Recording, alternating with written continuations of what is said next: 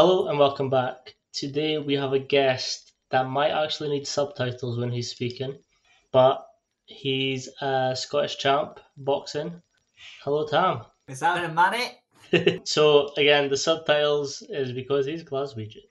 Yeah, probably. Ah, it could be could be quite bad. I'm speaking a very professional mannerism. Just How you getting on? Just I for know me. too bad, Nice. man. Yourself. How's your career so far? Obviously, just newly Scottish champ. How does that feel? Go. Fantastic to be honest. Can't complain about it. You know what I mean? That's been quite good. Just back to reality. Back to work. Back to training. You know. Nice. Um, so do you want to dive into a little bit of uh, your background and how you got into boxing and whatever else? So I started boxing probably back in. You're talking probably about primary school time. Started boxing when I was in primary school because I was getting bullied at primary school. Yeah, probably done that for maybe a couple of months. A couple of months just to learn how to defend myself, just because I was a wee tiny wee Asian boy. You know what I mean? So I had to learn how to fight people. So after that, I ended up chugging it. Eh, didn't go back till probably about third or fourth year in school because I ended up in a fight one time. This guy was was mouthing off, gave me gave me all the racist chant because I was beating him at football, which is extremely surprising because I'm absolutely terrible at football. he was giving me all the, the, the racial grief, so I absolutely ended up piecing him up. And then I remember I came home for obviously playing football, and then my brother says to me, and he was like, "Damn man, eh, you were in a fight. I heard you absolutely pieced him up, whatever. Gave him a doing." And I was like, so, "No, I've actually got got hands." I was like, "Maybe I'll go back." So I ended up going back to the boxing when I was probably in about third or fourth year, must have been about. And it turns out I was, I wasn't too bad. Eh, through to amateur ranks, I probably I went to the British a few times, boxed for Scotland. Eh, I went to the Worlds, the Europeans for Scotland, boxing a couple of multi nations here and there, and then What's that like? it's about it. What's it like um, sort of traveling and boxing with uh, Scotland on your chest? Eh, it feels pretty good, you know what I mean? Represent. The accent definitely represents. I remember like being over in like I think it was Kazakhstan. I remember there was a couple of young boys, but obviously in foreign countries they speak like perfect English, perfect. They speak about six languages, and then these wee boys are saying to me, "Where are you from?" And I was with a bunch of boys from Scotland, obviously as well, but they were obviously white. And then I was like, "Scotland? No, no, no. Where are you from?" And I was like, "I was like, oh, half Chinese," and they were like, "Oh, okay, okay." then they were understanding. Yeah. So what's it like, sort of getting picked for these squads, and what's the process behind that? In the amateur background, so just obviously went to a box. Well, I won the Scottish. I eh, got invited into like Scottish training. Then you go to Scottish training. Then they kind of just pick talent for certain weights, and obviously I was was pretty good. So got picked for 54, 54 kilo. Not seen that in a while right now. uh, for people who don't know, what weight are you fighting at just now? Right now, I fight featherweight, so that's about nine nine stone on the button, fifty seven kilo ish. 57. Nice. How do you find getting it down to that weight? Actually, not too bad. Actually, is I usually sit about sixty ish, and then the last, Oh. always the last, like it must be just mental. Like you know, uh, there's like a kilo to go, and you're just like, ugh, I'm dying. You're like, "I'm done. There's no more. But it's not actually, it's not as bad as you would think. yeah. So what's the jump like from amateurs to professional now? Eh, I guess there is a like style stylistic wise, it's a bit different because when you're an amateur, people are like, oh, you're you're on your toes, you're boxing outside, you're looking for clean shot. But see, to be honest, you're always looking for clean shots, right enough. I don't know what I'm talking about, but uh, in the pro- program, there's people people tell you they'll try and sit down your punches. You're trying to obviously take somebody out of there, get to the business end, knock them out, make an early night.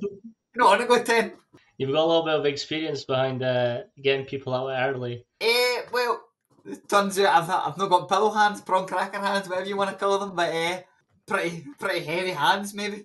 to be fair, that last fight you've just had, which you won the Scottish title, is by far one of the best fights I've ever seen because you were sort of in there and you're kind of making it look like he didn't belong there.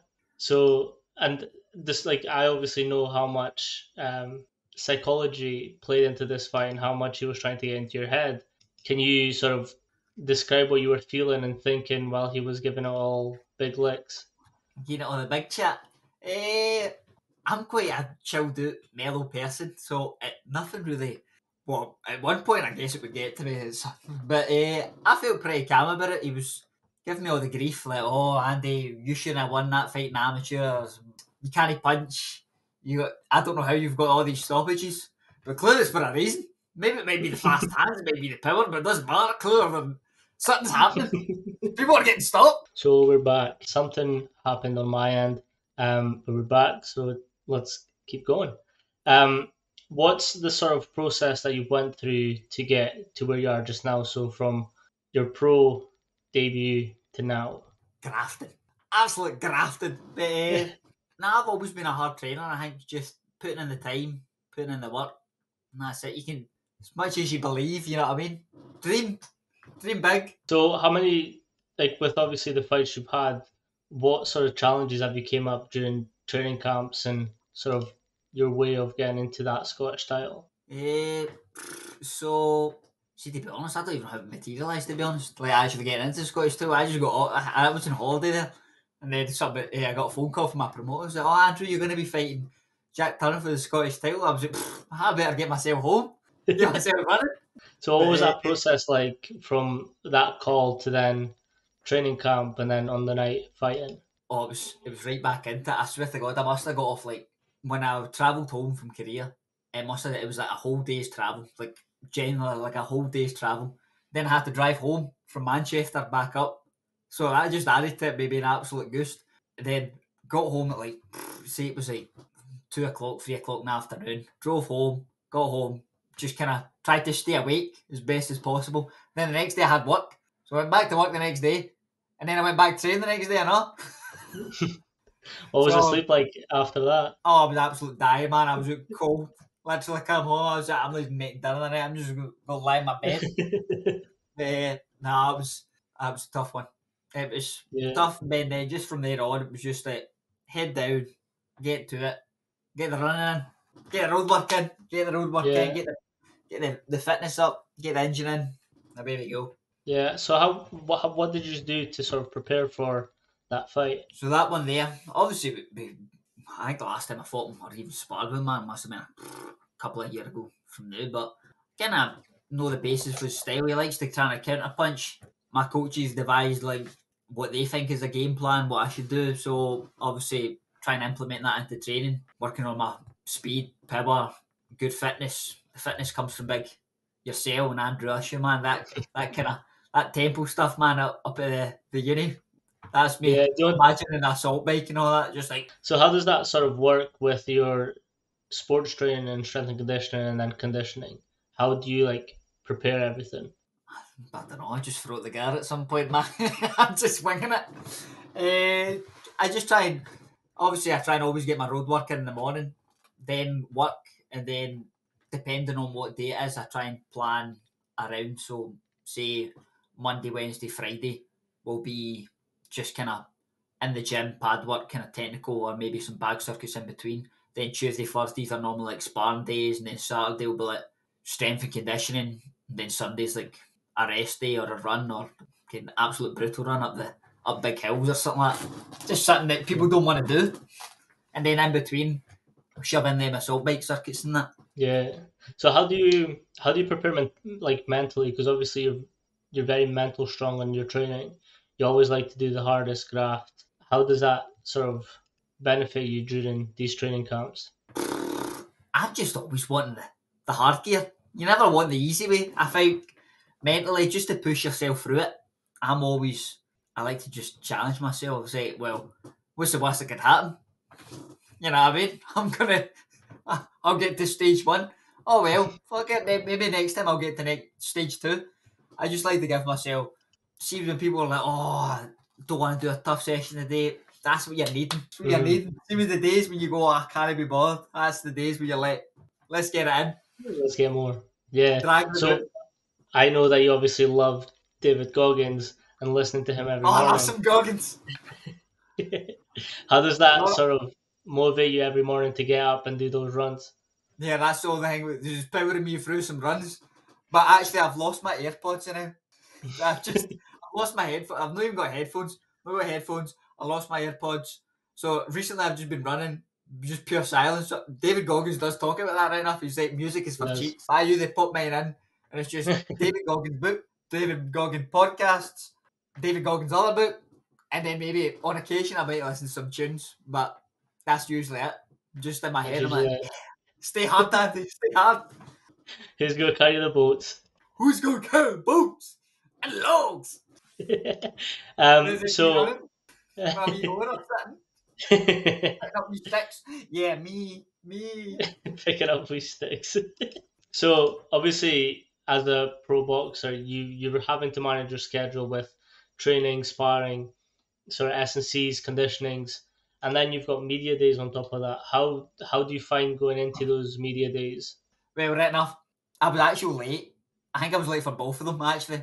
There was like two media days for this fight that came up just there, and I think I was late for both of them. But it's because I was at work. So like right. when you're at work, I'm like, here, I need a way for this time, and then they're like, yeah, yeah, that's fine. But then in all reality, jobs drag on and stuff happens. So I was actually late by like, I wasn't actually late late. I think I was like ten minutes late at a push. We'll just say about ten minutes. But uh, uh so yeah, uh, it's quite hard. It can be difficult. Can be difficult sometimes, but Yeah. So what is it that you sort of don't like about the media days? I don't know. They, they are quite fun, to be honest. Right, they're quite fun because obviously he's like that fight there. That he's getting all the he's getting all the chat. Like he's getting all the big licks. He's like, oh yeah, Andy carry punch, blah blah blah.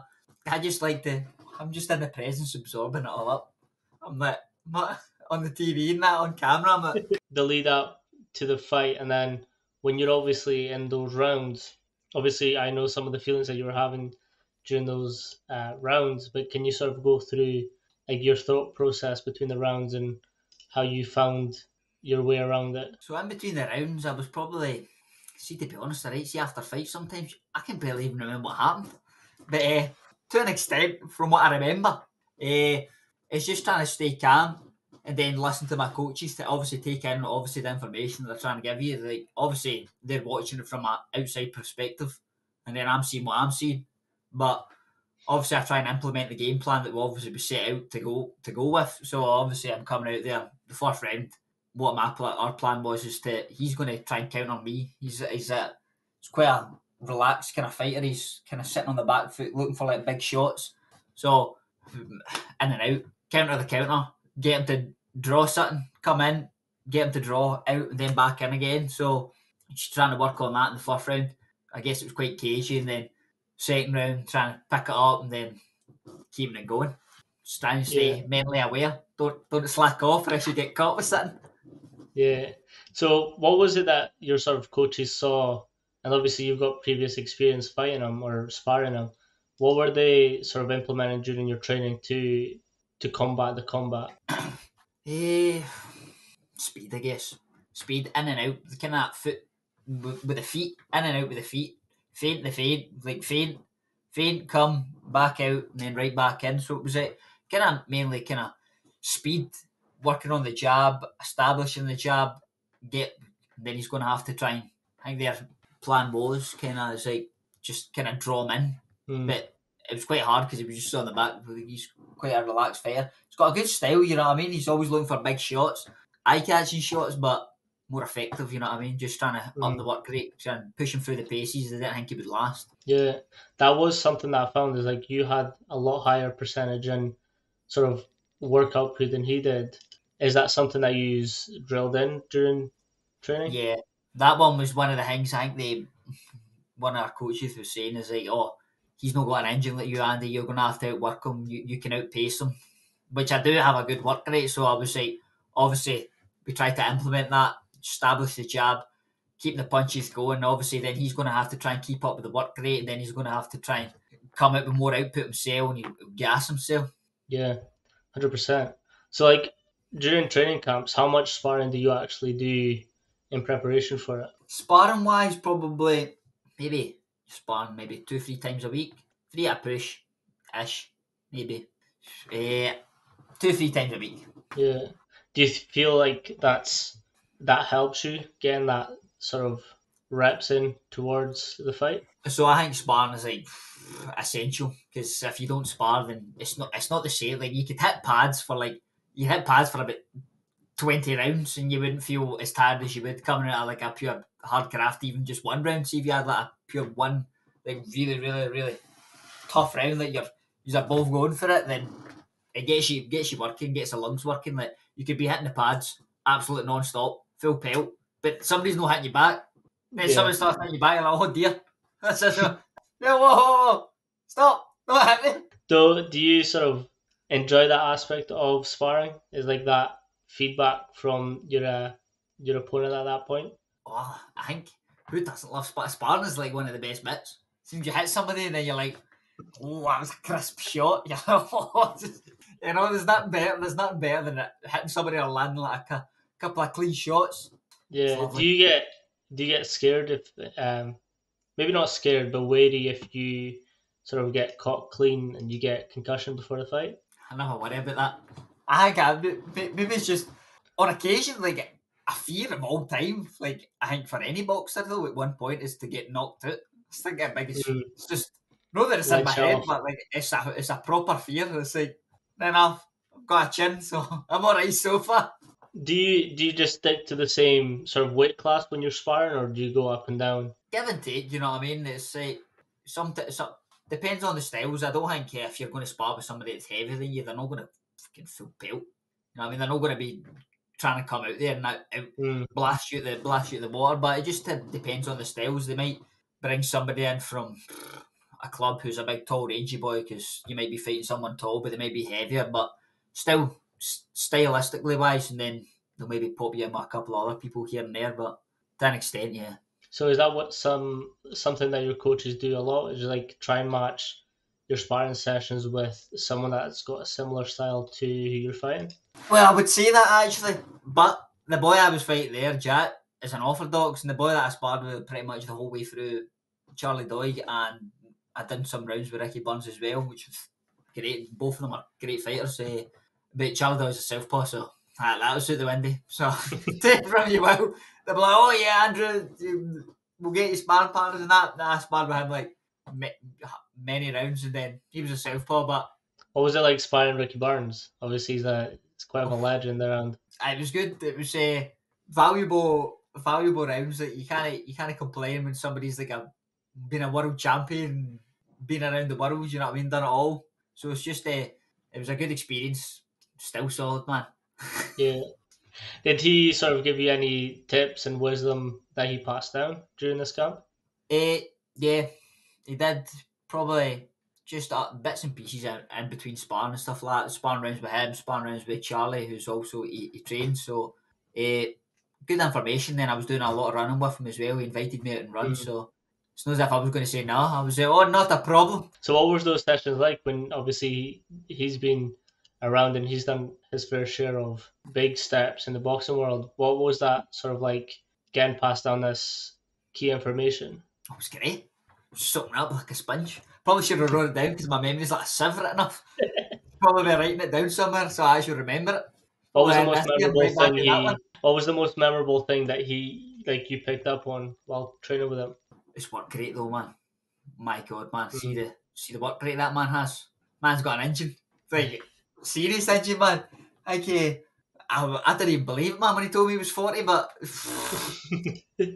my God, man, guy was absolute athlete, athlete. Is there anyone else that sort of came up into your camp that you were maybe not expecting or maybe you've seen them and you kind of wanted them in?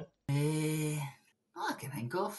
See, to be honest, I barely remember what happened yesterday, let alone fucking the, the, my, my, in my training camp. that's not the boxing, that's just me. That's not a box, that's just me. That needs to be a t shirt. That needs to be a t shirt. I know. Ain't the boxing. That's just me. There's in one ear, right in the other.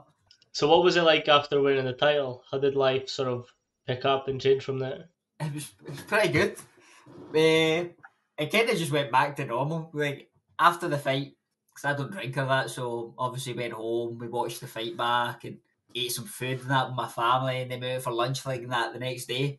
And then it was back to the graft. Almost I had like the so obviously the fight fight was on the Friday. Chilling out Saturday, Sunday, Monday. then went back to work the Tuesday. So it was just like back to reality. then back to training on Wednesday. I did go down on Monday just to see the wee guys and that, but that was about. Yeah. Uh, So I saw you before your training camp. So obviously we spoke a lot about food and sort of what we like to do after sort of a big fight and something like that. What was your first uh, meal after your boxing fight? I didn't get my KFC. Didn't get my KFC. Mm. My go-to is always KFC, mate. I didn't get it. What's your I think- order? What was that? What was your order? What? No, I didn't get it. No, I no, but get like, what KFC. would be your usual order? Oh, my, my order. Probably a wicked zinger meal, extra hot wing, two extra hot wings and all, man. Just that's a classic. God else maybe some chicken on the bone, but but yeah, you can't beat a wee zinger meal. I used to go for the burritos after a judo fight, and Oh, they the, the flaming wraps. Oh, yes, no, no, no, no, the burritos, the burritos. They used to do burritos, and yeah, and they were amazing. So it had like rice, chicken, beans. I uh, like a rice box. in actually, love a wee, Mm. wee zinger rice box. Can't be a wee rice box. Yeah. So what did you actually have? The what did I actually have? I actually I went back to my sister's house and I had instant noodles, mate. But right enough, my dad was like, "Oh, Eddie, I think my sister made like Eddie, as if you know who that is." But my sister, she made bolognese. I think it was like the day before, and then obviously there was some spare bolognese noodles. My dad made like just instant noodles with like Tom tonkotsu ones or something like that, spicy ones, and he was like, "Oh, we'll put some some." Spaghetti bolognese on top. It was the, the weirdest combination. It was actually pretty good though, because I was probably starving fair enough, but it was just a weird combination. It was like they were just, it was a weird one, but they were tasty. they were good too. Yeah. So after, can you sort of go through? Obviously, you mentioned that you still work and you're a professional boxer. Can you sort of explain how that works in the boxing world? Uh, so I guess a lot of fighters like nobody's nobody's got that many sponsors where you could probably go full time. So some people maybe could if they've got a lot of good sponsors and stuff like that, but obviously supply like food, your rent, mortgage if even, and then you've still got your training, and then you might not be fighting that often, so you've still got say you get one good payday, then you've still got all this stuff to pay for, like, and you're not maybe fighting for another six, six, seven months, or maybe even two months. Because I was out for two and a bit years. I never even knew until they told me, like, like, not they told me, but I heard it on like the watching it back. It was like Andrew was out for like two years and eight months. I was like, damn, I was out for that long. Didn't feel it. I'm still training. So why were you off for those two years and eight months? I don't have a damn clue. uh, I think uh, in between, like obviously certain fights, uh, I might have picked up like an injury, so I end up pulling out or something like that. Maybe I, I remember one time I did I did hurt one of my shoulders, uh, and then I hurt one of my hands as well at one point, and then I end up with the mumps actually bef- just before COVID. I was Mm. supposed to fight. I ended up with the mumps. I ended up like a pure frog. My neck went pure chubby as hell. I was like, uh, and where else? But that's about it really. So just Yeah. kind of not well, then just back to it, I guess. Yeah. How's it like coming back after hand injuries and I guess as long as you do like proper recovery. But I think if you're a boxer, everybody's got sore hands at the end of the day. You know what I mean? Everybody's. It's just it's just a part of it. It's like so? oh I can't fight. I've got sore hands. It well? Everybody's got sore hands unless it's properly hurt. Hurt. Then I guess you just got to deal with it. Yeah. So what's the recovery process for you with any type of injuries? I'm not too sure. I don't really get injured that often, to be honest. But I don't think I do. Maybe I do, but I forget about them. Probably if it's a proper see, if it was like a hand injury, I would probably still tick over and probably run a lot. And then if it was like I don't get hurt anything below my legs, Just keep maybe. running. And we're back again. So we were sort of speaking off camera while we came back. Um, have you got any upcoming fights or anything planned? Eh, upcoming fights. I'm fighting again on November third. November third in Alloa. So how does that sort of come about? You getting fights, or obviously you've got a title now. Is it defense? Is it? So the one coming up now is I don't even know if it's a defence or it's just a regular fight because they pretty much just said to me it might be it might be this, maybe that. I don't have a clue. Barely, clearly nobody tells me nothing. Maybe it's just gonna carry. I, maybe maybe they don't want to tell me because I'll end up blabbing it or something like that. I just want to keep it hush. But to my knowledge, eh, I'm not 100 percent sure on what it is. It's just I'm just going to say it's going to be a, a regular fight, and then they're hoping for the next one after it maybe try and push me on something else. So mm, like a maybe a progression, so a Celtic Mm. title or something along those lines. You know. Yeah. Can you explain what a regular fight is compared to a sort of title defense? Well, see, to be honest, I'm saying regular fight as if like any fights. So you, I guess they're all regular fights, but uh, pretty much, I think they're just talking about like a see, it was like a six round fight, eight round fight against somebody, and just because obviously the boy needs to be Scottish for it to be a Scottish Mhm. title defense. You know what I mean? So that's what I mean by regular fight. As if like I'm a pure, pure champion in that now. I'm like, I swear at regular fights and that. You know, I'm just, uh, just you know what I mean, just a fight. Yeah. So it, I guess in this case, if it's not a Scottish fighter, it would be a, a regular fight. If it was someone Scottish, then it would be a defense fight. Technically, yeah, yeah. And then Yeah. I think they're hoping after that push me onto it, maybe try and get something else, get into the Celtic title or something like that. You know, Can you explain what that is compared to the Scottish title? what's that? Sorry. So, what's the difference between a Scottish title and a Celtic? So Celtic includes like Ireland in that, doesn't it?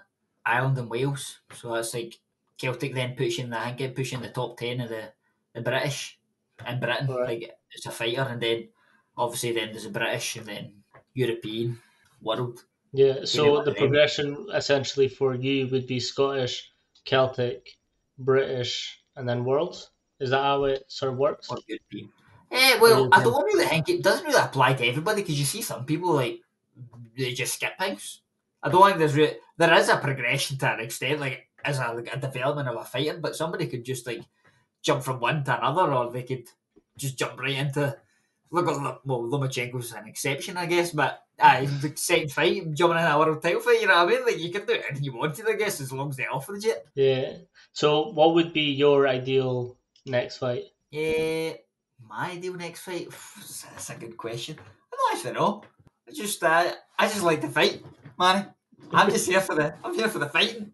But uh, I'm hoping, I would hope, uh, even if this one is just like a kind of a regular, not a regular fight. You know what I mean? I keep saying regular as if like, say this one is just a fight, and then maybe I think that's a good mentality to have, though, is just think of them as regular fights. Because then Well, they are all. always. I guess at the end of the day, they're all regular. But hopefully, I'm hoping to then progress, and hopefully they'll get me like a something, something tasty. Maybe get a wee tasty, tasty wage, you know, you know. So, yeah, what would be your sort of ideal next step, like fight wise? Eh, I would hope for maybe, maybe kind of getting into the looking for like a Celtic title or something like. that. Just trying to. You don't want to jump too fast because technically everybody's still learning at the end of the day. So I'd like to get in a couple of fights in, maybe one, then a Celtic, and then see where we progress from there. See what gets thrown in the mix. Not as if anybody would tell me, they would just tell me that, oh, Andy, you're fighting such and such. Okay, sounds good. so, how does that work with your promotion? How does that? How do they sort of find your fights and then um, sort of put, put you forward for them? Oh, I don't have a clue. That's a nothing. I don't have a clue. Eh, I'm assuming there is some sort of process in there, but I, I have maybe one. may- Maybe now they'll come to me and be like, Andrew, what do you think about this? But I don't know. I just let Yeah, do I'm just. you I'm just rock up, show up I'm and just, show I'm up. just here, I'm just here rock up in the night. Somebody tell me the weight and what time and place. I'll trade for it. Nice. I like that mentality though. That's actually something that we sort of connected on, and that's I think our first session was obviously I'm a very vocal coach, Yes. and I think you sort of drew to that. What was what's like the thing that you look for in your coaches? I feel like somebody's going to push you. But yeah, that's what I think. That's why me and you got along so well because uh, obviously we met through the uni, and I think a good coach is somebody that's going to push you as far as you can go. Like some people are going to give up. Certain people give up at like ten percent. You know what I mean? So when I was pushing in, I think it might have been the bike at that point, even in the running as well, and the arm one. The, I remember just the bike one. I remember essentially it was like, "Come on, Andy, dig, dig, dig, dig," and I was just like, was like, "Oh, Andy, you've got more, you've got more," and you're like, "You know what? I've got more." you know what I mean? You're going for it, you're like, "Ee." even though I'm dying inside, I was like, "Oh, I've got nothing," but you're like, "Come on, Andy, I know you've got more," and I was like, "Oh, okay." Cycling away, grafting. no, that is something I like to say to everyone because everyone does have more in their tank than what they think. Hmm. So by having someone shouting at you saying like you've got more in that tank, let's fucking push it. So how that how like in your head at that time, what sort of goes through your head when you're getting told you've got more in there, let's go? Well, I'm thinking, I'm thinking, you know what? You're right. I'm just thinking, most of the time, see if somebody even said, Oh, Andy, that's you. Well, enough, you'd probably chuck it actually if they were like, Aye, Andy, that's you. You'd be like, Aye, all right then. But uh, I think it's it's something you need because sometimes sometimes people do want to give up. You know what I mean? Like in their head, Mm. they're like, "Oh, I'm just waiting." But I feel I'm always I'm always striving for the best. I'm always wanting to dig that wee bit deeper. I'm like, you know, what, Andy, you've got you've got it, you've got it. Come on, keep it. And then we're like, the, with somebody saying that to me as well, I'm like, aye, you're right, I do. I think as well sometimes uh, a lot of people watch the clock, and that's the worst thing that you can do. aye, that's true. So I think like, I can't remember if you would, but anytime that someone starts looking at the clock, I either cover it or I'm just like, stop looking at that clock. You you've got more in there. Let's let's push. stop that you cheat. In preparation for your fights, like obviously you've got your coaching team. How much tape is watched on your opponent, and how much of that preparation takes into effect? So for me personally, I don't really watch much. Well, I do watch boxing, but I don't really watch much tape on my opponents.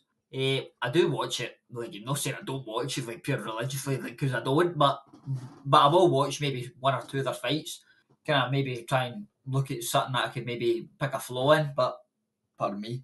And again, like hiccups here. but my coaches normally uh, they they watch a lot of their the, lot of the, the my opponent's fights and they'll be like, "Oh, Andrew, I think."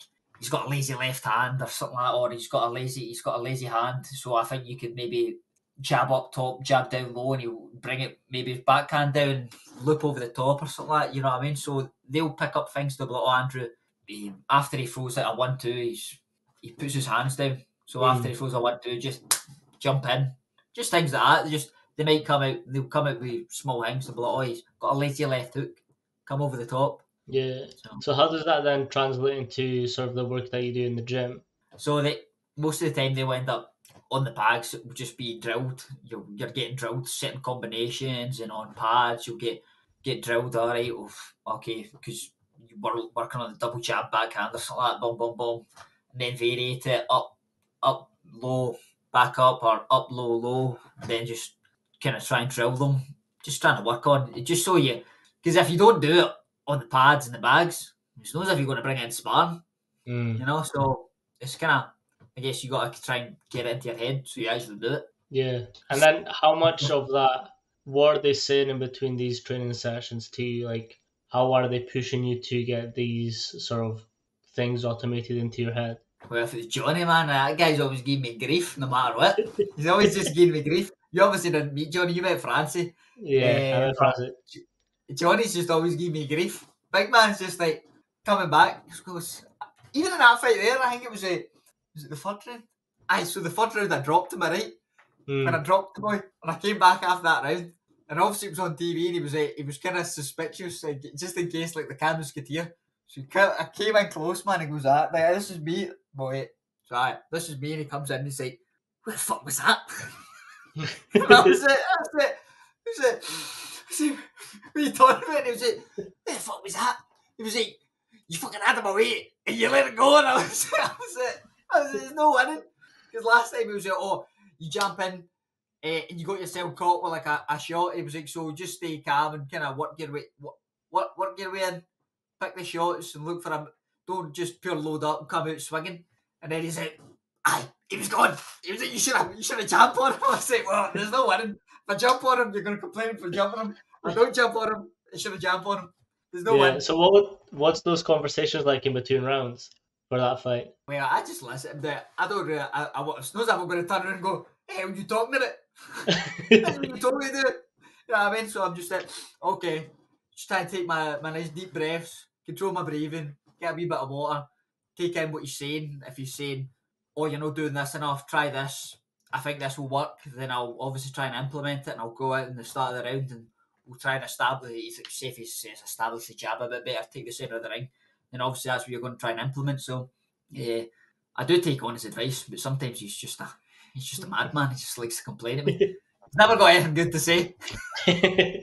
That's a good point though, because you did drop him in the third round, and then on the sixth round, which that's when you put him put him away. What sort of? I'm guessing that's why you lunged forward after him after you connected those two. See, that's what my coaches all say though. So all my coaches are like, "Oh, Andrew, you're too nice." And I was like, "What would you want with me? I'm this, that's just me." Like, "No, you're too nice. You got to have that. You got to have that mean streak in that in you. Got to have that mean streak." And I was like, "I was like in the ring. I wouldn't say I'm nice. You know what I mean?" But, like, oh, but I seen that he was away, so obviously I tried to jump on him. Maybe that's what they're trying to tell me. Like, "Oh, Andrew, you've got to be more more aggressive." So maybe maybe, maybe that's what, why I done it. Who knows? Don't know. what I was thinking. I was thinking I'm going to smack him. Gonna have to belt me now and But uh, yeah, I, where was I going? We can we can watch it back. Let's watch it back. Ah, that's true. Ah, I will watch it back. Here we go. Here we go. Top of the year, man. Wasn't it? It's not been buzzing.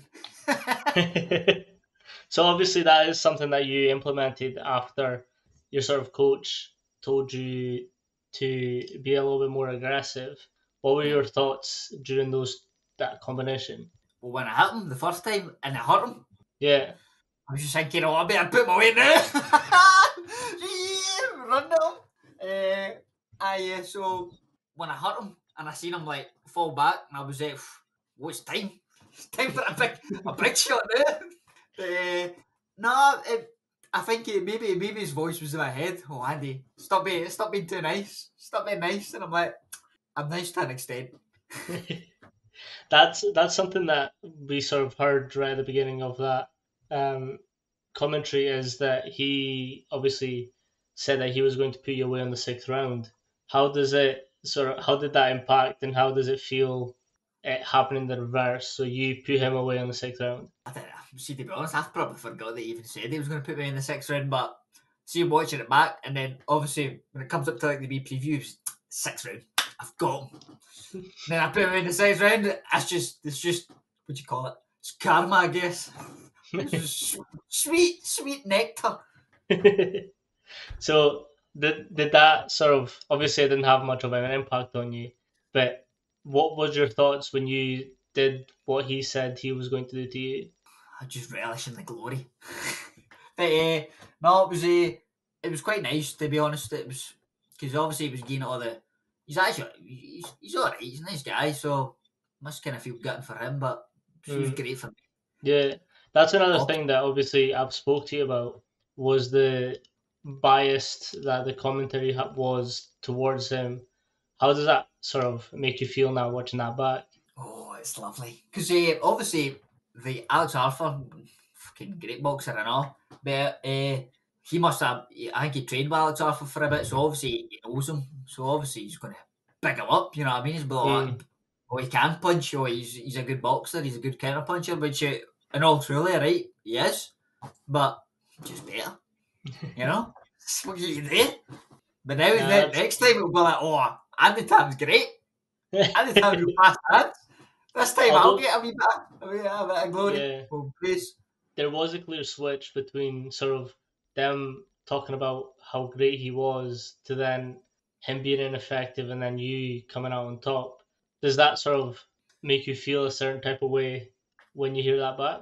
Not really, to be honest. I'm, not, but it's just it's quite nice because they're like, oh yeah, he's really effective. He's got big, big heavy hands. But didn't even matter. Don't worry about it. I've got it in the bag. That's what I said in the thing. I was like, had it in the bag. I think I said that in an interview. I was like, they're like, oh, because you won amateurs and that. Did you think that gave you an edge? I was like, nah, had it in the bag to begin with. Didn't even matter.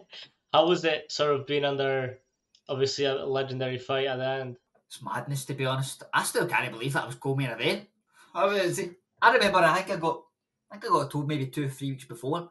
Like, obviously, the, the fight, and they're like, oh, Andy, you're going to be co-main event. And I was like, didn't actually, didn't actually it was going to be me. You know what I mean? I was like, is it really? And then it was. But I can't complain.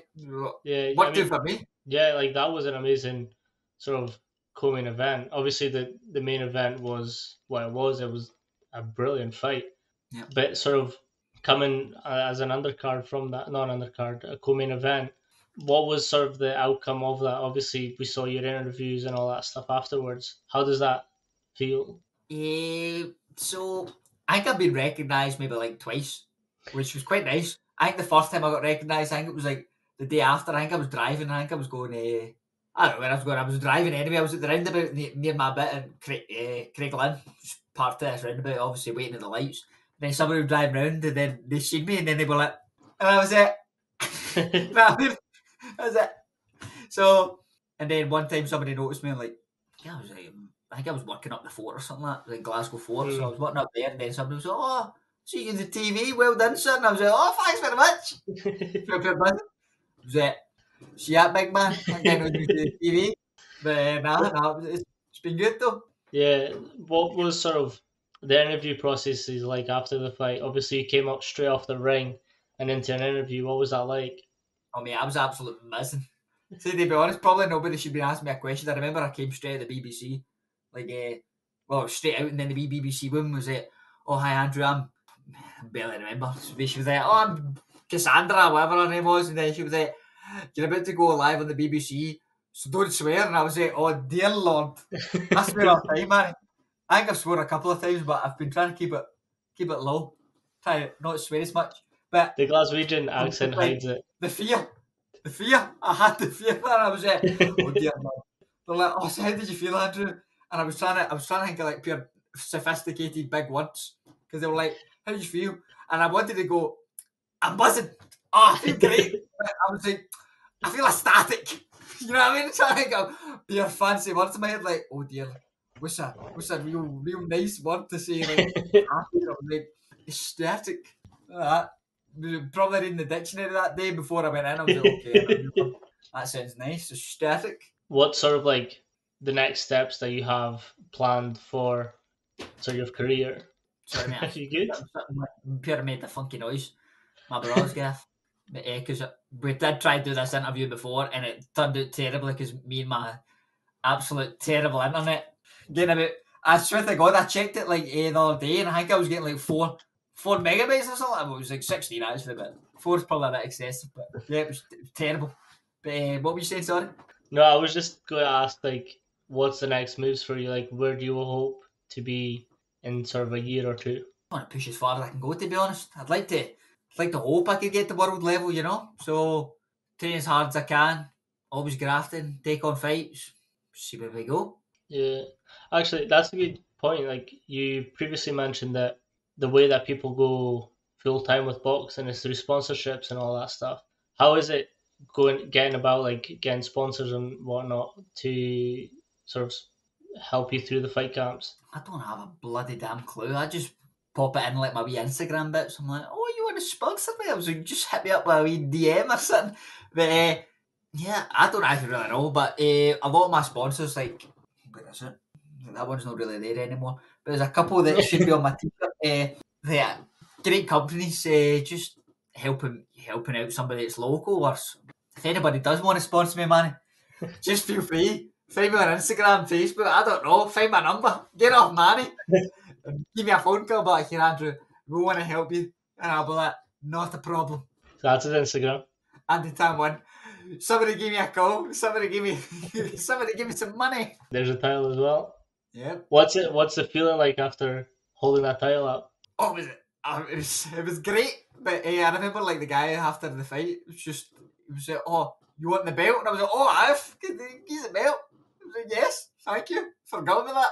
So even when I came at the interview, the woman was like, "Oh, I can't remember what she said. She said, "Oh, it was great." Blah blah blah. How did you feel? I was like, "How much buzzy be on the TV?" You know what I mean? I wasn't even kidding. So I was just just just excited, you know. Yeah. No, like obviously we I've watched your sort of career for the past year or so, and it has been sort of amazing. And we've always went back and forward and just sort of shared some tips and whatnot. It was lovely having you on, Andy. Um, obviously, thank you for doing this interview. Do you want to shout out your sponsors and Instagram and all that? They are really good to me. To be honest, like I've got loads of great sponsors, but they really do help me out. Big Derek Skinner for the club Skinner Constructions, Johnny man, helped me out. My company at the moment, VWS, shout out to them. Great company, lovely people. Hashtag here, my, my auntie Jenny, you know what I mean? Right there, hashtag here. She starts me with all my free haircuts and that, you know? I, can I get a wee fresh trim? Right enough, I'm getting one this weekend, so don't leave my hair now. I'll send you a picture. You can just like edit it on my wee head. Uh, big Julie for the club, Julie Kavanagh, uh, therapies, massages, yourself, Manny. Well, thank you. Primitive, mate. Can't, can't thank you enough. You came out fight week, helped me out, wee bit of mobility. We've we rubbed in and that, you know what I mean? Uh, armed security as well. North Security Company. Mac Tylan, they've always been helping out. And then one of my new ones, Reload Prep. Clearly the TV hang was good. Got a wee, wee sponsor they help me out with like uh, meal prep and that. So Yeah. weekend's gonna be gonna be great. So is that something that came straight after the fight, that meal prep? Pretty much, yeah. They end up messaging me. When did they message me? I think it was a couple of days later. They were congratulating me about my fight, and I was like, "Oh, thanks very much." Oh wait, there's one I forgot in Spa Scotland. Big Joe, Big Joe from Spa Scotland. But uh, probably something's going to pop in my head, and I'll be like, "Manny, can you edit this in?" And, uh, add them in because uh, I totally forgot about them. Um, what was I saying? Sorry, I forgot mid sentence. I was clearly distracted. Uh, meal prep.